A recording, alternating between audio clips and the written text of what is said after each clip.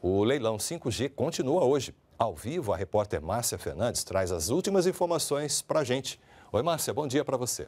Oi, Roberto. Bom dia para você. Bom dia a todos que nos acompanham. Pois é, o leilão continua nesta sexta-feira em Brasília. Ainda alguns lotes que não foram licitados e esse trabalho continua nesta sexta, deve ser encerrado agora pela manhã. Mas nós já temos alguns resultados dos principais faixas de frequência que foram leiloados ontem. Por exemplo, os lotes da faixa 3,5 GHz, que é considerado uma das principais, foram ganhos pelas três principais companhias telefônicas do país: a TIM, a Claro e também a Vivo, num total que ultrapassou 1 bilhão e 109 milhões de reais. Já o consórcio 5G Sul, formado pelas empresas Copel Telecom e Unifique, também ficou com o lote mais disputado da faixa de 3,5 e vai dividir a proposta com uma proposta de 73 milhões de reais. Ele vai dividir essa frequência e atuar na região sul do país. E a principal contrapartista desse consórcio, todos eles têm alguma contrapartida, tem que é, seguir alguma obrigação imposta pelo governo federal. Nesse caso, é oferecer internet para municípios com menos de 30 mil habitantes. Já a faixa de 700 MHz foi arremetada pela empresa Winit, Winit, com uma proposta de 1 bilhão e 400 milhões de reais. Esse é um novo investidor que chega agora no mercado que vai é, ajudar a trazer mais concorrência, oferecer mais serviços para a população e, e vem com, e segue um pouco do protocolo do governo de atrair também investimento de investidores estrangeiros, recursos estrangeiros.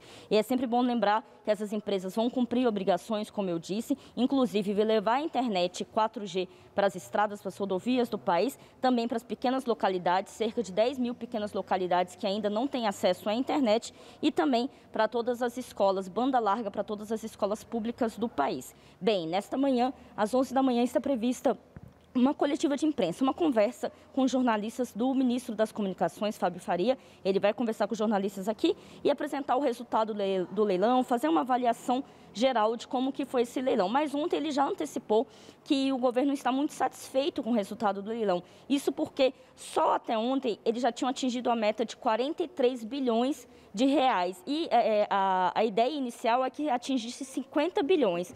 Só ontem 43. Esse valor deve ser superado ainda hoje, nessa sexta-feira. Olha, e a repórter Luana Karen, ela preparou uma reportagem especial que explica um pouco sobre o 5G, como foi esse leilão ontem e também por que, que essa tecnologia é tão importante para a vida de todos nós daqui para frente. Vamos ver. O primeiro lote do leilão do 5G foi vencido pela Winit 2, que se tornou uma nova operadora de telefonia móvel no país. A empresa vai operar a faixa de 700 MHz, levando internet a rodovias federais e localidades que ainda não têm cobertura 4G. Já as empresas Claro, Vivo e TIM arremataram os lotes da faixa de 3,5 GHz, considerada a principal do leilão.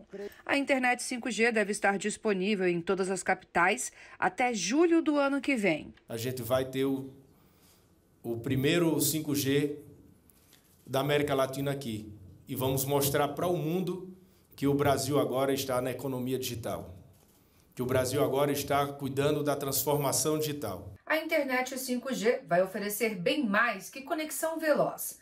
A internet das coisas, como é chamada a rede que conecta dispositivos como relógios inteligentes e assistentes de voz, poderá chegar a um número maior de equipamentos. Será também o início das cidades inteligentes, interligando, por exemplo, sistemas de iluminação pública, dispositivos de monitoramento e sensores de presença. No campo, a internet 5G deve transformar o agronegócio, elevando o PIB do setor em pelo menos 10%. O leilão do 5G atraiu 15 interessados e representa investimentos de quase 170 bilhões de reais no setor de telecomunicações nos próximos 20 anos. São quase 10 mil localidades pequenas que não têm internet, que vão ter internet. É informação que chega na ponta da linha essas pessoas se integrando com o Brasil e com o mundo. As empresas deverão cumprir uma série de compromissos, expandir a estrutura de fibra ótica, instalar internet em 31 mil quilômetros de rodovias e conectar os povos da maior floresta tropical do mundo por meio da instalação de cabos que irão passar pelos rios da região amazônica. Sem cortar nenhuma árvore. Então, um projeto totalmente sustentável. Todos os países que a gente foi eles ficaram impressionados com esse projeto. Lembrando que a coletiva no Ministério das Comunicações é às 11 horas com transmissão da TV Brasil.